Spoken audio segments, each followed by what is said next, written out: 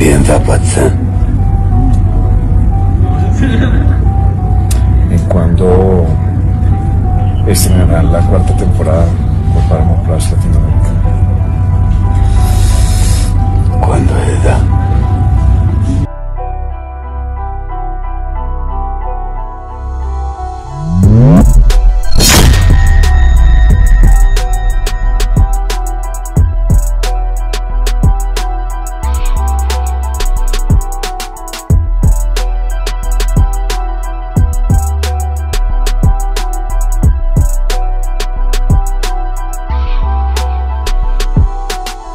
Capo 4 es una super serie producida bajo la idea original del libretista de Gustavo Bolívar, dos de los directores más destacados en televisión y cine en los últimos años en Colombia. Ricardo Gabriel y Lilo Vilaplana se unen para contar una historia de alta calidad llena de acción, suspenso, traición y pasión con un elenco que incluye más de 50 actores de amplia trayectoria y la aparición de alrededor de 200 extras y figurantes. El capo mostrará algo nunca visto en el país.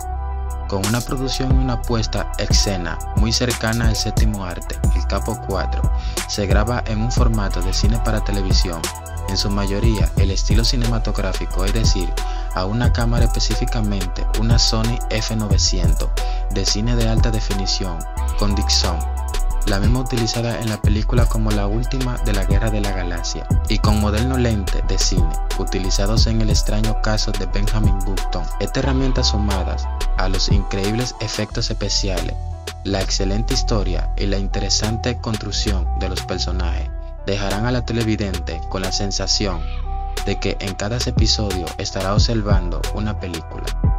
Asimismo, el capo cuenta con un elenco de primer nivel, dentro del cual estará manifestándose Marlon Moreno como el actor principal. Muy pocas cosas pueden envidiarle al capo a las últimas producciones del cine en el mundo. En su realización se usó tecnología de punta y las últimas ayudas mecánicas utilizadas en la cinematográfica mundial, como el Steadicam, dispositivo que permite llevar la cámara sujeta al cuerpo, grúa de 15 metros de alcance, con cabeza caliente, hot hair, dolly hidráulico y un Austin aparato especial para grabar bajo el agua. Además, en estos seis meses de tiempo de grabación, la serie se ha producido en locaciones de Bogotá, Medellín, Villeta, Necon, Puerto Triunfo, La Calera y Doradal, rodando incluso en lugares que pertenecieron los demás términos narcotraficantes, como la Hacienda Napoli, Fortin de Pablo Escobar. En producción utilizamos este lugar porque era uno de los capos más importantes. Así esta historia no trata de Pablo Escobar.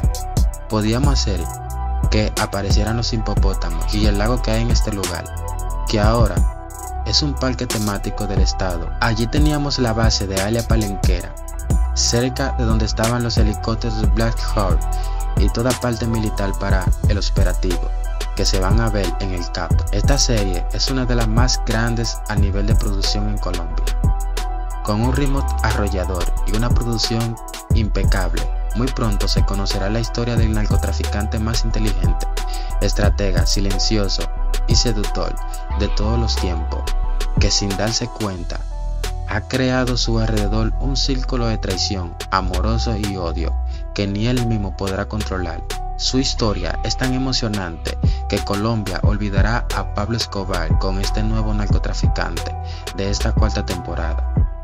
A Marlon Moreno le preguntaron durante las grabaciones del Capo 4 que para él qué tan difícil ha sido las grabaciones del Capo, pero él se refirió que la cuarta temporada no ha sido tan difícil como la segunda temporada, cuando tuvieron que hacer las escenas del búnker.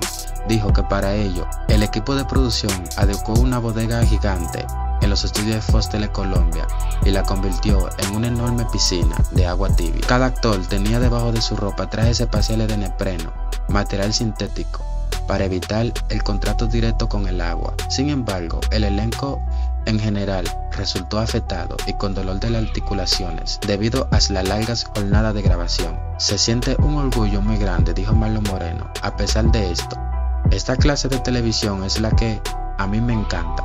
Hubo momentos de mucho frío porque aunque estuvimos protegidos con trajes especiales, no fue suficiente.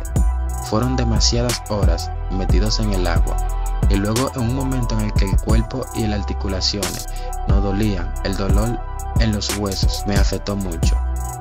Lilo Vilaplana, uno de los directores de la serie, explica sabiamente que estas grabaciones iban a ser muy difíciles, pero el equipo de producción hizo todo lo más ameno posible para que los actores se sintieran cómodos. Utilizamos una piscina con agua climatizada, los actores usaron trajes especiales que lo protegían y grabamos de tres escenas para que no se tornaran tan pesadas el trabajo. Para José Manuel Chávez, por su parte, dijo que los personajes de la serie vivían situaciones angustiantes y tensas en las que muchas veces los gritos y las peleas eran lo protagonista, así que muchas veces deben tenerse tras una escena y abrazarse. Tenemos que recordar que esto es ficción, porque en ocasiones los personajes llegan a unos niveles de tensión que nos llevan también a nosotros emocionalmente al límite. No obstante, los esfuerzos de parte del elenco en estas grabaciones valieron la pena. Como resultado se vieron escenas cargadas de acción, tensión y suspenso. La conocida serie dramática colombiana El Capo regresa por cuarta vez por Paramount Plus. La cuarta temporada llamada El Proyecto Roson es el primer programa accesible para los espectadores de habla inglés, ya que los episodios ahora contarán nuevamente con subtítulos en inglés. También será mucho más cara que las demás series producidas en Colombia, ya que por eso se tardó al grabar por su asunto de presupuesto. Foster Colombia es la compañía que produce el capo, pero esta vez será Paramount Plus, en la que trasladó la acción de Miami a Colombia para cuarta temporada del programa. Como parte de los elementos de la historia, Paramount Plus utilizó la experiencia de producción más destacada y cara del país. Esta cuarta entrega contará con las mejores tecnologías del país. La producción en Colombia y México se llevará a cabo durante un periodo un poco extendido donde los equipos filmarán escenas fuertes y extensas, un poco más delicada que la de las anteriores.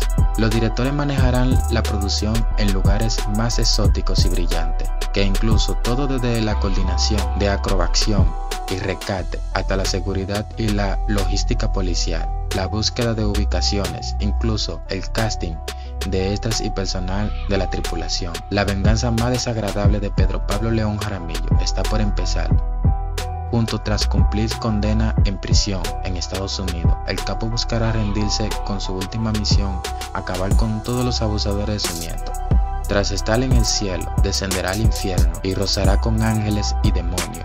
La historia del capo de capos está de vuelta, cargada de acción, drama, pasión y sorpresa, pues le da la espalda al turbio negocio que él mismo creó tan solo por una venganza, la cual te entrega del capo desafiará los peores asesinatos hasta dar con los culpables y mantendrá en vilo la vida del mismo Pedro Pablo, quien buscará enredar a su nieto y la nueva generación en un mundo mejor. del equipo del Capo 4, bienvenidos.